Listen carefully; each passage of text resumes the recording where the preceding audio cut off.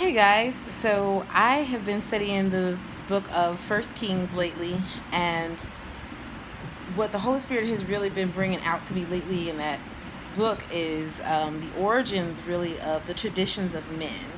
Um, that's something that, um, and doctrines of devils, that's really something that since day one we've had to fight against. That's something that uh, we were talked about in the latter days. There will be, be many that follow after the, the doctrines of these seducing spirits and whatnot.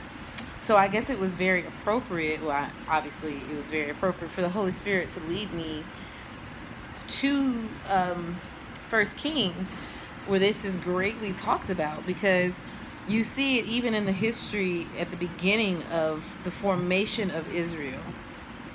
So, um, First King starts off with Solomon, David's son, um, taking over his throne and building the temple of worship to, to God. And of course, we know that Solomon started off just like his father, who was said to be a man of, after God's own heart. So he's doing everything right, he's doing everything he's supposed to, but then he starts taking on these pagan wives and um, in my soul ties video, you'll see me talking about, you know, the, the reason why you're not supposed to be yoked with unbelievers because when your affections are turned towards someone who worships um, a demon or a devil, which pagan gods, that's what they are devils, demons. When your affections are turned towards this person, you naturally begin to worship what they worship. Um, sometimes you might not worship what they worship, but you compromise because you want to make that person happy. This is very dangerous because we are not supposed to turn from God towards any other deities because they, they're, they're demons. So God told you know told him that he would take the kingdom from Solomon's son and give it to Solomon's servant instead, which was Jeroboam. And everything that God said happened, of course. So now Jeroboam is the king. And not only was the kingdom taken from Solomon's son, Rehoboam, he, because um, after Solomon died, Rehoboam tried to exalt himself as king. And because that wasn't God's will, what happened was um, the people of Israel came to Rehoboam and they were talking about how Solomon had forced labor upon them and they weren't really ha happy with Solomon, needless to say. And they basically were trying to get him to reverse some of the laws and regulations that Solomon had put in place for them. So Rehoboam told them to retreat for three days and come back to him after the third day. While they were gone, he consulted the elders and asked them what he should do. They said that he should become a servant of the people and basically give them what they're asking for so that he can be king over them. He rejected what they said and then he went to some young men that had grew up with him. So that's basically like me going to the elders and asking them what's going on, what I should do. I don't like what they said, so I went to my, my homegirls and I'm like, okay, well, what should I do? He knew that his homeboys were going to tell him what he wanted to hear, so that's why he went to them.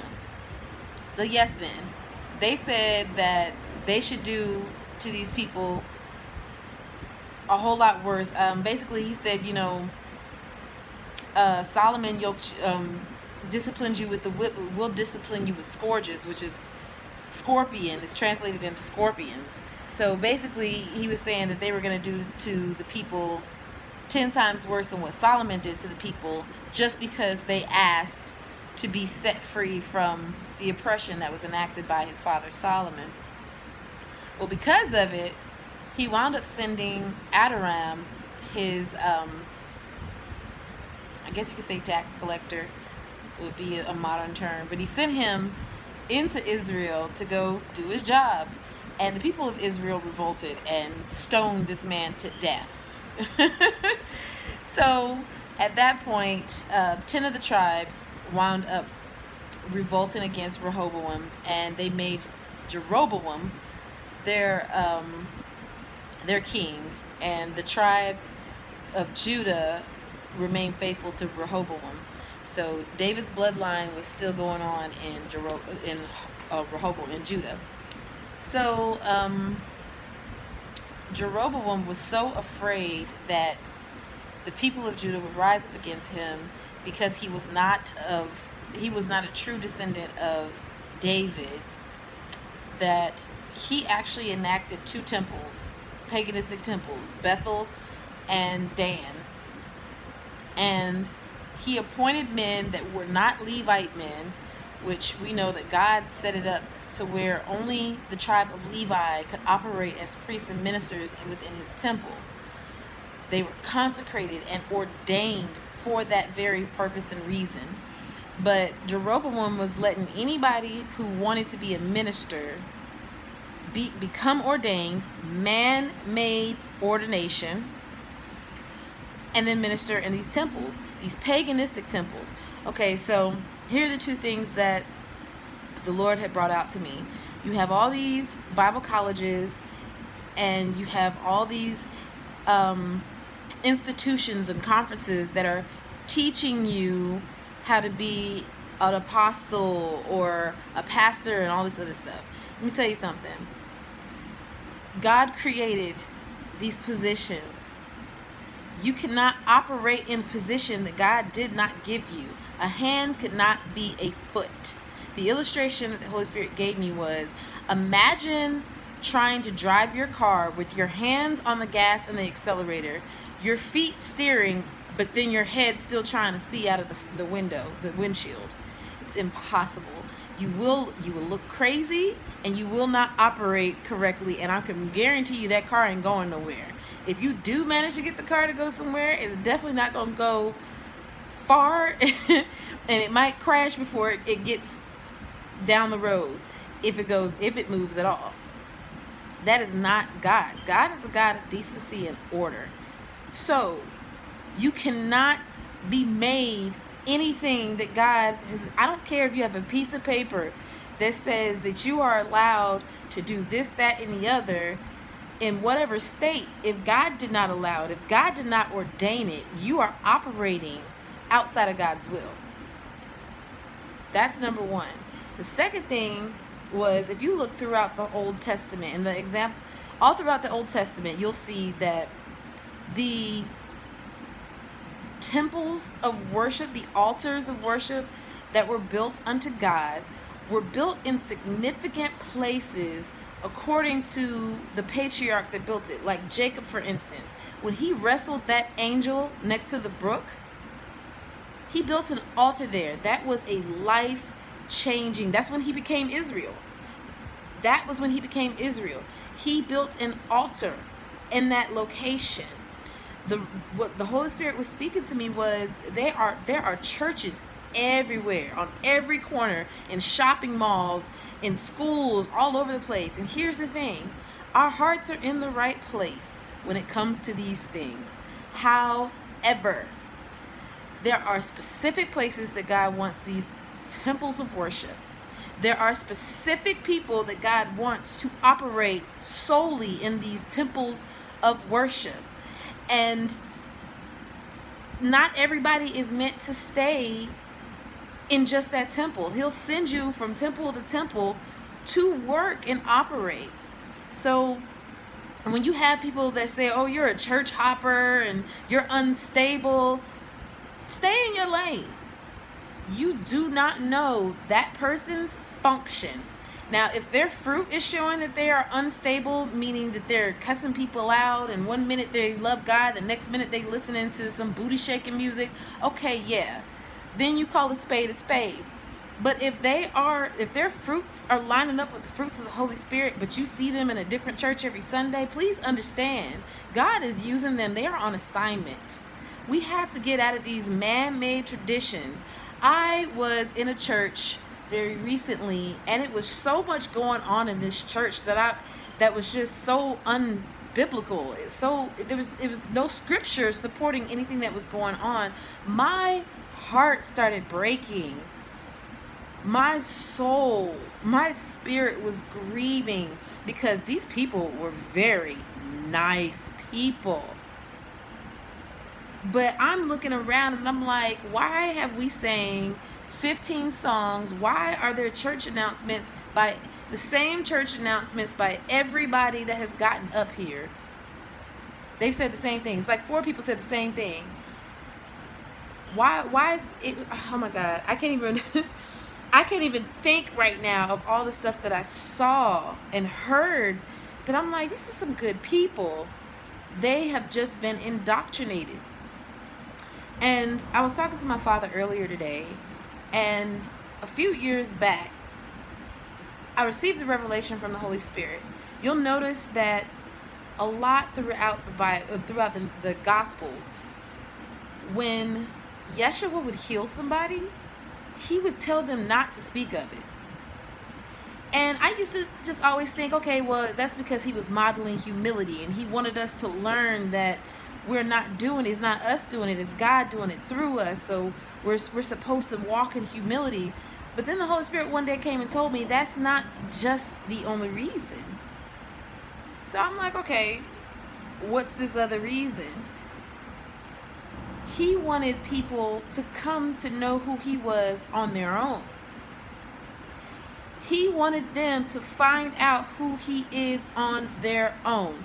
So take this for instance. I just mentioned my father. So now you know about my father. You know two things about my father. I talked to him about God and that he's alive. Or at least you should hope that he's alive and I'm not crazy. I promise you I'm not crazy. But you know at least that he's alive and he talks to me about God. So you know about my father. But do you know his name? You know his favorite color. Do you know where he lives? You know what kind of car he drives? Do you know what he does for a living? Do you know how many brothers and sisters he has? You don't. You don't. Unless you personally know me and you have personally met my father, you do not know anything about him other than the two things that I already mentioned. That's the same thing with Jesus Christ, Yeshua. There's a lot of people that know of him. And because of their knowledge of him, they've given their heart to him, but it stopped there. Once their heart, I'm sorry, I got these bugs flying around.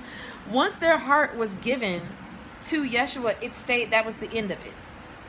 They didn't seek out him, who he is. And it's very simple. A lot of times we got these folks that are telling you, you got to go through this long, sacrilegious type of experience. All you got to do is ask let me let me let me try to try to bring it in for you. Ask and you shall receive. Whatever you ask God, you will receive an answer. Yes is an answer. No is an answer. Wait is an answer. Ask and you'll receive an answer. Seek. If you seek God, I can guarantee you, you're going to find him. I can guarantee it because he wants you to. Knock, and the door shall be opened unto you. If you knock on the doors of God's kingdom, He is going to let you in. If you are seeking Him with your whole heart, He's going to let you in. Now, I'm not talking about heaven, yo. Because you know the only way you get into heaven is through Yeshua, through Jesus Christ. But if you knock on the doors to his kingdom, He's going to let you in. How many of us have been taught that that scripture means ask whatever you want of the Lord and he'll give it to you? He wasn't talking about things, at least not material things. He was talking about spiritual things.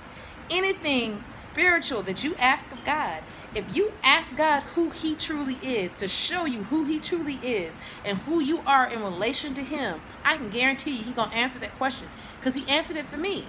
The Holy Spirit started leading me to ask for certain things like, Lord, show me if we're really worshiping you in these churches. And if we're not, show me who we're really worshiping. He started breaking this stuff down for me.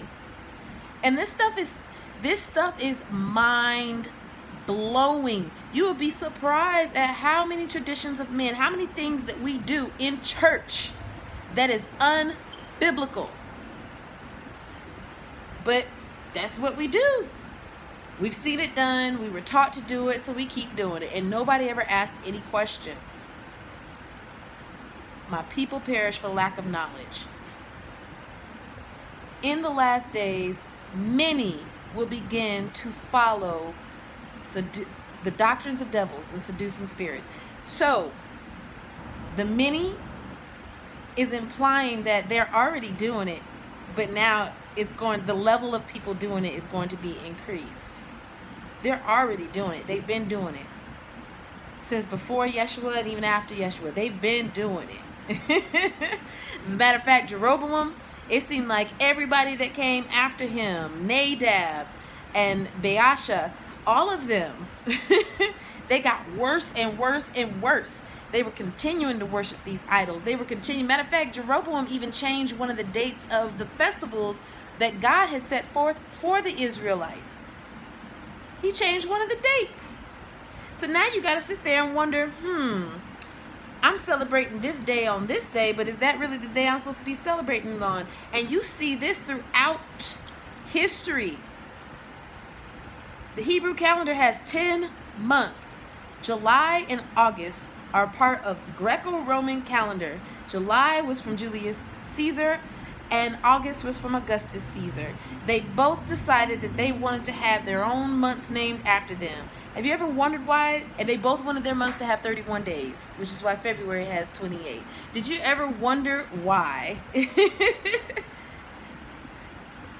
the two calendars don't don't line up because they're changing around. So if they added two more months into their calendar, well, into the, the Hebrew calendar to make it into the Greco-Roman calendar, that would have to shift some days around. That shifts a lot, especially if 31 and 31 is 62. That's 62 days that every day that lines up on the Hebrew calendar is shifted 62 days further out. 62 days. Do you know how many months that is?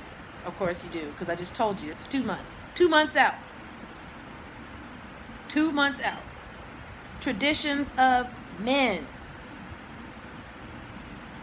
We have to start asking God to give us the wisdom, knowledge, and understanding about Him, His kingdom, His Son, the Holy Spirit, us, the church as a whole, and the kingdom of darkness and its agenda.